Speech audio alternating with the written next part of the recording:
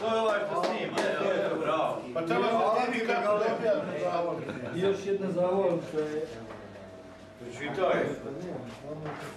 Opet obavlja se Hrvana Benskog kretača za nesmišno zalaganje i prezentaciju.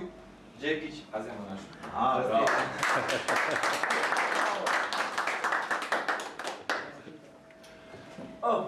E, sad bi ovako dodijelio pehare. U stvari, Ne mogu. gospodin Fare je donirao ove pehare kao donator znači ima pravo i da dodijeli šampionima Ali ako budemo jarti ovdje. Ali pošto nije bio tu, treba ga jebati. Nećemo, nećemo, nećemo. On je zaslužio, nije bio tu. za osvojeno prvo mjesto njegov govor. Jaljanski, Jaljanskog prestača. Dodjeljuje se Koje je meni drago da mu i uručim. diploma Merić Omeru. Ajde. Merić Omera nema Moramo od dodjeljiti. Bravo, bravo. Čiji? Kao, puno mu. Bravo. Ne, ne, ne, ne, ovo je dijete njegovo, ovo je golubove. Evo. Hvala lijepo. Aha, I ovo je meni nešto ekstra to. Osvojeno Ako bude, neki iz Hajera. pošto je... Sad je. Joj, mlada. Ja, tako na njegovo ime da ga da nije tako da to mladi. dodjeljuje se nagrada od diploma. Izet.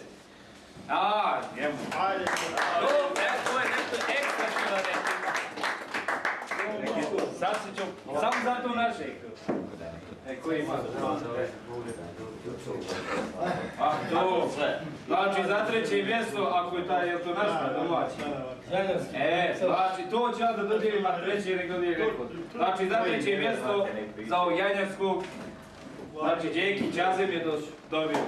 Bravo. E, znači samo za Janjarski ti. Ja ću za Janjarski, a za Janjarski neću ja. E sad bi ove bijeljinske, za bijeljinske osvojene šampione bijeljinskog pretača, isto tako znači slijedi pehar za osvojeno prvo mjesto ovom Đe- mladom odgajivaču.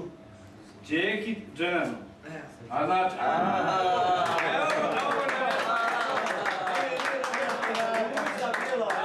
nema veze, nema veze. Za drugo sam trnja čisti, bar. Njoj bi trebalo. Ajde, bude za drugo osvojeno mjesto, znači, domaćin. Domać, domaćin nek ide. Đekić Jazem. Za Bijeljinski, evo. Bili sam, nisam ja. Ja sam ne znam, kvizu ovdje. U redu, što nije za Janja? To nije to u kući. Ja, ja, ja, ukrašen. Snimi, red za stavare.